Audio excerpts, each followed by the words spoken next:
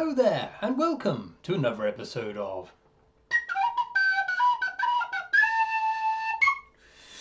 News from the Gelding. Okay, hello, my name is John Chapman. I'm a self published fantasy author and occasional artist. And back there, I've got my old mate Sir Percival.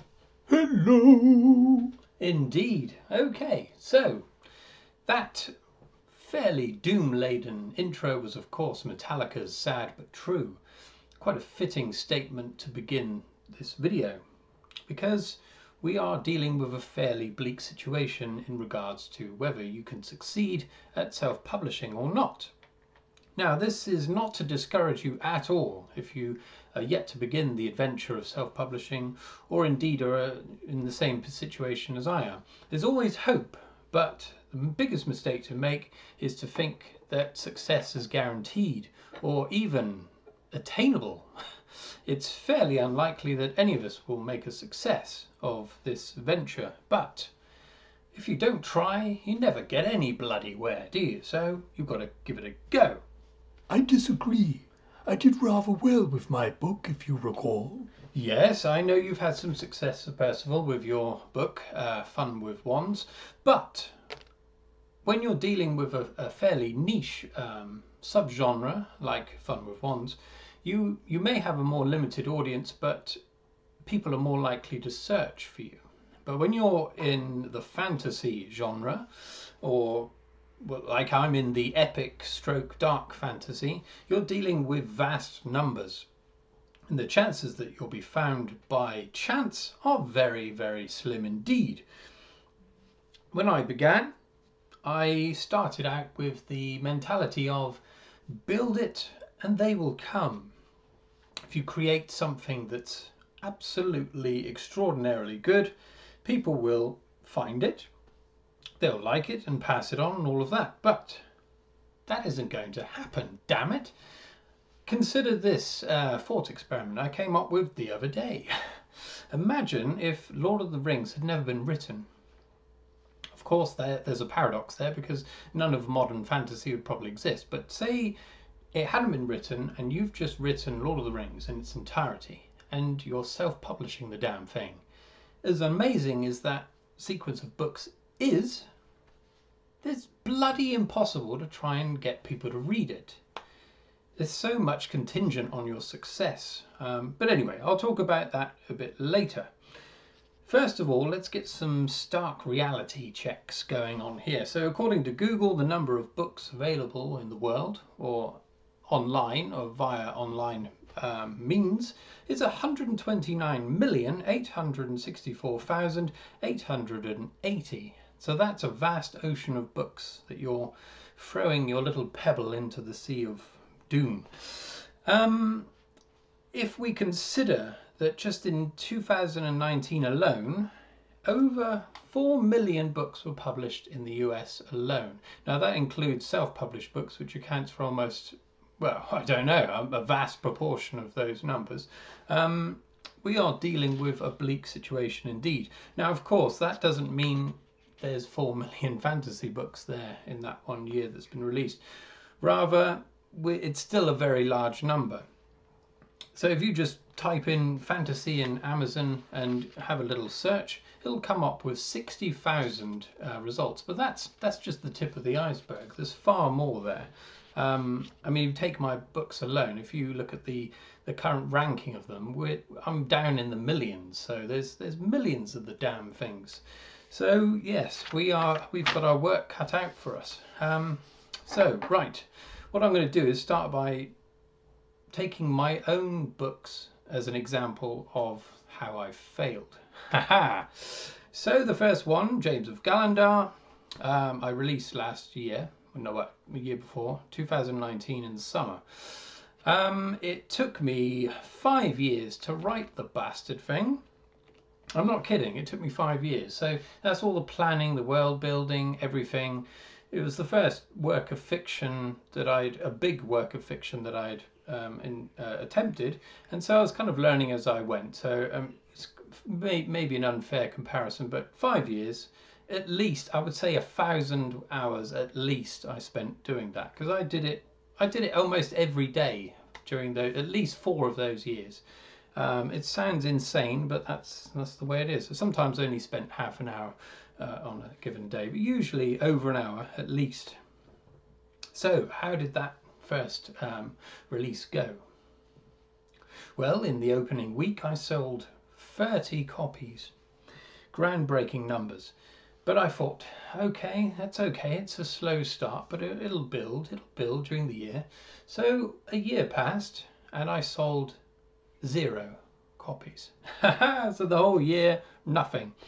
Um, so I, but see, during that year, I didn't do a great deal other than my YouTube uh, channel uh, to promote the book. Although I did have Instagram and some dalliances with uh, Facebook, I didn't really put much effort into it. So I thought, right, we need to drum up a bit more, a uh, few more numbers, need some more eyeballs on the book at the very least.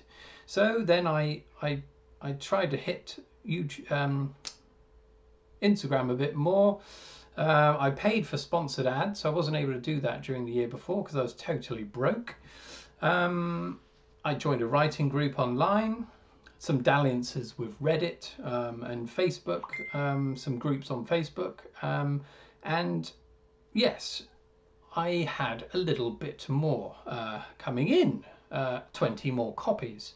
But then, of course, as soon as I stopped uh, feeding that machine, it plateaued again. Nothing. Well, plateaued, it just went straight down.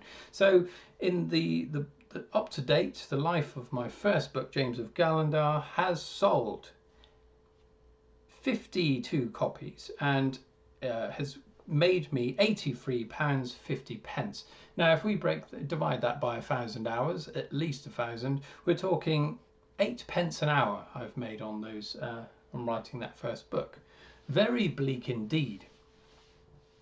So at the same time, I, I did hope that my YouTube channel would would help a bit with the promotion. Um, so uh, because I've done the artwork for the books as well, I've, I've managed to do a couple of videos just about, you know, time lapse of doing the front cover. And I thought that at least would give me um, some exposure. Uh, someone at least would see it and be intrigued enough to want to buy it. But I've never correlated any sales at all with my YouTube channel. So that's been an, an utter failure, really. Um, but to be honest, I never intended the the channel to, to be promotion, but I thought it would be a nice side uh, consequence of, of doing it. But no, no, nothing at all. Okay, so right, the next thing I did was I thought, right, we need to do something about this. If I'm going to be releasing the sequel to this book and no one's read the first one, what's the point of promoting the sequel? So I gave the first book away for free, of course. So during the week, um, uh, I did a promotion thing and, and it was free for a week. So let's um, have a little look-see of the numbers. Uh, okay, just make sure there's nothing dodgy on my links. What the hell is going on here? So, Percival, have you been on my computer again? Uh, no. Dirty ones, juicy ones, big ones, giant ones, very big ones. You are absolutely filthy. Anyway, let's let's move on, move on. Right, let's have a look here. First one. We've got, I gave away 23 uh, copies on the first day. Now, this first day, I didn't promote it at all. At all. I, I didn't have time. I just I set it up because I was already I was trying to finalize the the release of the second book. 23 copies first day. Second day went up to 79. So now I was making a bit more of an effort. I was promoting it on social media across different platforms, uh, on Reddit, various things. Um, Facebook uh, groups and all that. Um, so that was nice. Next day went up again to 70, 94. Um, and then uh, I was still trying, but the numbers dropped off considerably. So 36 and down to 12 on the last day. So, right, what the hell went wrong? Um, I, I was hoping to shift far more free books, but it just shows that even giving away a book for free isn't enough. I mean, you can't even give books away, you know, for free. So it's quite depressing. But at least now, with the combined sales and the free books, I had at least 300 people that had a copy. Doesn't mean, of course, that they read the damn thing, but at least they've got it, and there's the potential then for sales of the second book. Okay, so second book comes along. I was aiming for a release date of the 18th of December. It's not the ideal time to uh, release a book. Um, the fourth quarter of the year, um, it's just a free for all. Um, everyone, all the publishers are releasing books in the autumn uh, in anticipation of Christmas, and Christmas itself, that time is just nuts. But at the same time, I thought if I don't set a date, it's just going to keep dragging on and on. So it's around two, took me around two years to write this one. Um, it was easier. I was, I was, I was better at writing at this point. Uh, found it easier. Uh, and all the world building I'd already done. So I was building on the story. So this time it took me what three, no, how many? 400 hours, something like that over the two years. Yeah, 400 hours. Um, and right, dropped the damn thing. This time I was a bit more prepared. I across social media, some groups, fantasy uh, groups, said it's coming out um, and waited with bated breath for the release. The numbers came in. They weren't good. Okay, so up to date, on the first first weekend, um, I sold 11 copies and four more copies of the first book. Uh, but that's it. So since then, since 18th, uh, the weekend of the 18th of December, I haven't sold a single copy of the second book. So again, if we take that um, money per hour situation.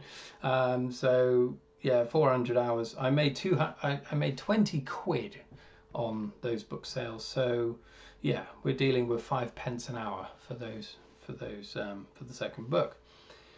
So yeah, not good at all. So I'm just going to take this off. Ah, crikey, it's quite hot. Uh, might I suggest you take all of your clothes off? I'm not taking all my clothes off, Sir Percival, for God's sake. Oh. Okay, right, so let's move on a little bit more. So, my work is part of a series, or a trilogy. I envisage writing three books. So, a lot, a lot of fantasy authors, um, crime authors, lots of people do this. They write a series of books. If you develop a fan base, then you've got constant sales throughout the life of your series, hopefully, if you keep it good. Um, I did it because the first the book I wanted to write was going to be too long, so I thought I'll split it into three. I mean, it took me five years to do the first one, so I thought you know, it's going to be like a decade before the book's even out. So I thought, right, I'll split it into three and just go from there. Um, hopefully that works out, but it didn't because because of the poor sales, um, even giving it away for free. You know, who's going to buy a book after you've promoted the book if they haven't read the first book? I mean, the idea ideally then they go back and buy the first book and read that first, but you you take all this effort to promote a book. And a lot of people are put off by the fact that they need to read another book first. So the interest in that that book that you're working so hard to promote goes out the window. They the best scenario is that they go back and read the first one. So you may as well really just promote the first one. But after a while, people are just going to get sick of you trying to talk about the first book all the time. I mean, I haven't done it too much, I don't think, especially on here because I I feel embarrassed about always yeah, check my book out again. I mean, it's it's it's quite miserable, really. And the same with social media. I mean, I've I've stopped putting that on anywhere now because I mean, I'm sick of seeing it. They must be too. Um, right. Okay. So there we are. Let's make some conclusions here. These are based on my own experience. So, um, the first thing of note is people will always encourage self-publishing because it's free. You know, the whole process is free. Write the book, design a cover, get some someone to do it for you, stick it on. The whole thing's free. It is, of course, it is. Ebooks free. Even if you do uh, print on demand, it's all free. You're not paying a penny. But to succeed, you need money. There's no question. I am lucky enough that I'm able to. I was able to design my own cover art but it doesn't mean to say it's good enough. I mean, I've done it because it saved me lots of money. But ideally, you pay a professional artist to do it for you. That costs a lot of money. I mean, we're talking, I would say at least you're getting up to around a thousand pound for a decent, a really good cover. Um, and the cover will sell the book. I mean, there's no two ways about it. And there are trends in, in, in cover design, especially in fantasy. When something becomes successful, people start mimicking the, the design. And, and I don't like that idea personally, but I've, it works, you know. It sells books. Um, you've also got the benefit that the artists themselves will promote, inadvertently be promoting your work because they're always promoting their, their artwork. Um, and alongside that, it means that your book is being promoted at the same time. Someone else working for you um, after the book, you know, after the artwork's been done, they're promoting themselves, they're promoting you. Also, you need to advertise. There's no two ways about it.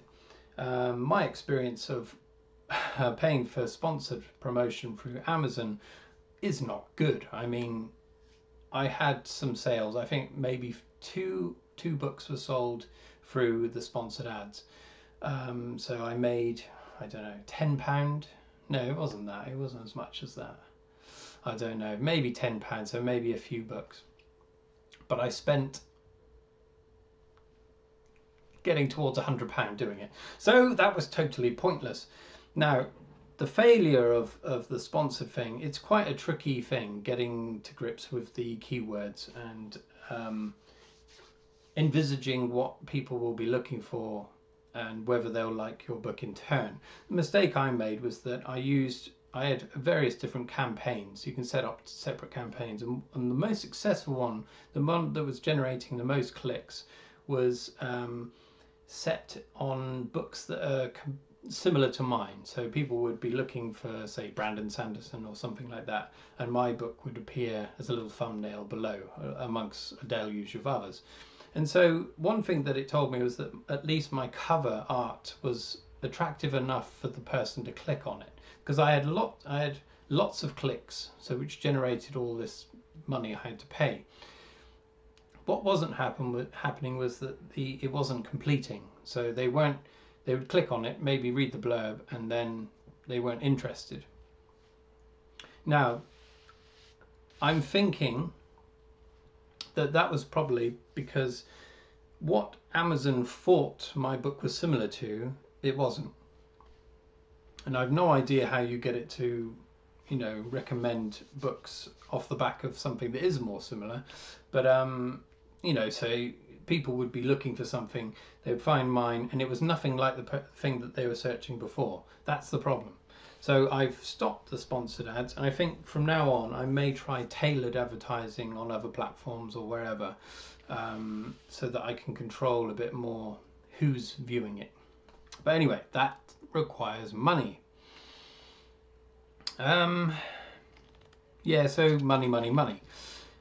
If you've got a good deal of money to throw at it, it's worth a gamble, I would say. I mean, I've followed other self-published authors that have had good success and they've put a lot of money into it. Um, but it is a gamble, and you risk losing it all. I mean, the chances are you will lose it.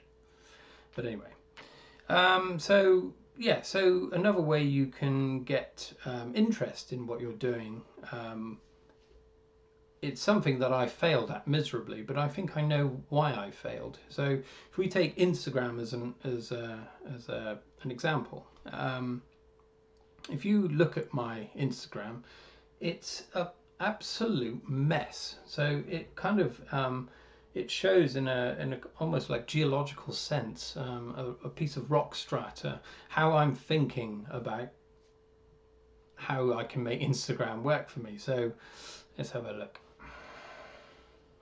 So at the very beginning, I had these very tentative. Uh, steps at the beginning where I'm showing, this is a picture showing how many, um, how the edit's going. I've got bits of the map, how I made the map. Um, my brother's stag do where we all dressed up as uh, um, D&D characters. Um, and then, yeah, some more details from my map, which I was quite proud of at the time. And then I started thinking, right, let's get some fantasy art on and talk about it, you know, dissect it and how it relates to my understanding of fantasy in general. Um, I did that for a while. Then I started putting up some of my own paintings. Film, there's Willow. Um, drawings again. And then places that I've been to that have fantasy feelings about them. Then I started promoting my YouTube uh, channel, which didn't really work. Then quotes, um, quotes from my book. That that was quite a nice thing. I got some good feedback from those. Then lino cut that I was doing, more promotion. Now I'm just focusing on promoting the. oh, this is the painting, and family things. You know, life uh, but it's a, an absolute hodgepodge of things. Um, and at, at, this point here, it's just little, these are videos, clips from my YouTube. But on the on Instagram, it looks rubbish. You know, it's Instagram is very image led, um, and it's you need to focus on images. Again, quotes. La la la la, and me at Christmas expelling smoke from my nostrils. Okay, so what you what I've seen that works is people that use fantasy art. So it's all about fantasy art. That's the focus. Whether you're a writer or you're preparing to re- release something, art is the thing that sells. Now there's there's people that I've seen doing this where they don't even me- mention the artist at all, which is unbelievable. I can't believe they've done that. They don't own the copyright or the they don't have permission to put these images on, but they put them on, and then people follow them because they think that they're the artist. Um, it's ridiculous, but but the people that have been a bit more successful that I've seen doing it, they they'll pick a picture, a fantasy, piece of fantasy art, and they relate it to their writing, or they'll write a little piece, uh, a piece of fiction based on the image, or whatever but that seems to work. Um, I've seen people that have been very successful getting followers doing that. The other option, of course, is to be quite good at uh, promoting yourself uh, in your personality. I've seen people that have quite good followings that are doing that. Um, and talking about writing at the same time. But the problem is, um, especially if you go down the writing route, talking about writing and all that, which I've dallied with on here, the problem with that is that you mostly attract other writers, which is nice. I mean, it's good to build a community of uh, like minded people. Um, but they're not going to buy your book. um, what you really want is to attract readers who aren't necessarily interested in an author unless until they become a fan of you know if, if they're a fan of you they may want to know about your life and everything else with it what you think but until that point, you need to attract readers. So another option then is to to spend time reviewing reviewing books, um, and ideally ones that sit within your genre. Again, I like reviewing books, but I, I I like to review books that I'm reading. I read across all genres. I don't just read fantasy. It's just it'd be boring to me to just read fantasy. So I can't focus on just doing books, but um, fantasy books, but you can. So um, consider that. Okay, and, and, and the final note really is just don't give up. Um, I, I feel, I mean, I've been failing ever since I released the first book, um, and it does feel, um, it's hard. It brings you down. You can't escape that. Um, so but you have to still love what you're doing. And I love writing and I love working on these books. Um, and that is enough for me. It's enough to sustain me. Um, but if if if they were selling well, then I would have, you know, I'd have far more motivation for for getting them out quicker than two years. Um, so the next one I'm hoping is only going to take me a year. Um, but it's yeah, it can be demoralizing. But so my advice would be don't of course begin writing your first book if you haven't done it before, but prepare to fail and at the same time um, just love what you're doing. It's about the love of the process. If you don't love it, then I wouldn't. I wouldn't necessarily. I wouldn't entertain doing it. It's not. It's you're not guaranteed success by a long way. I mean, the market is completely oversaturated, as we established at the beginning. Um, so the chances of success are slim to none. So it's like having a lottery ticket, really. Um, you write your book, publish it, do everything to the best of your ability, and then you, you've still got to work for it, but it's like a lottery ticket. Um, and you can increase the odds of it winning, but it's still, you know, stacked against you, really. Um, yeah, anyway, I'll leave it there. It's fairly awful again, I'm sorry. Um, Aren't you forgetting something? yes, okay, right. Um, Oh, goody. So Percival wants to show you his uh, book, the front cover of his book. I warn you, it's mildly pornographic, so um, we'll leave it to the end, and so you can switch off.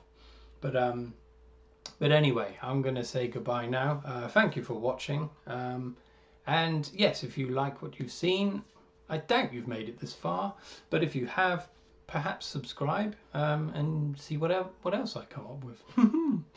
okay, cheerio, everyone. Cheerio. Well, get it out then, man. Okay, Get it out. I'll bring it up. Yeah, okay. Mmm, isn't it a beauty? Absolute filth.